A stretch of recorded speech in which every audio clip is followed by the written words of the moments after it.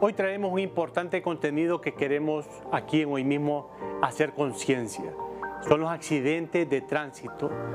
Esta es una pandemia, ya se ha convertido en la segunda mayor causa de muertes en Honduras después de los homicidios.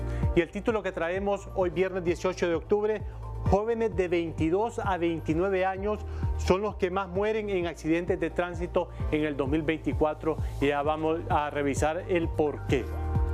Tenemos en la primera diapositiva las muertes por accidentes de tránsito en Honduras en este año 2024.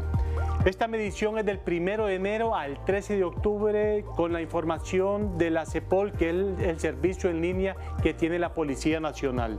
Hasta el momento, hasta el 13 de octubre, 1.424 muertes, hombres 1.213, que representan el 85.2%, mujeres 209 muertes, que representan el 14.7%, y dos están sin datos, representa el 0.1%.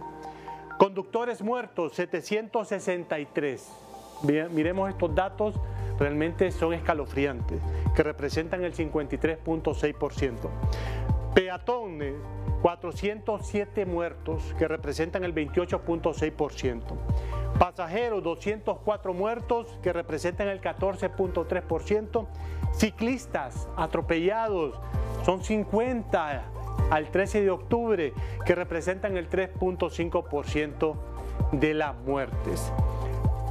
Tenemos las muertes por accidentes de tránsito por rango de edad y esto es importante prestar atención. Jóvenes de 22 a 29 años son los que más mueren en accidentes de tránsito con el 21% de total que equivale a 294 muertes.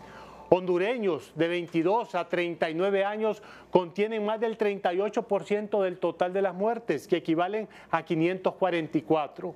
Hondureños de 22 a 49 años contienen el 51% del total de muertes, que equivalen a 722. Significa que 5 de cada 10 muertes por accidentes de tránsito que se están realizando en Honduras son de edades de 22 a 49 años y el 11% de las muertes corresponden a menores de edad con un total de 156 lamentablemente.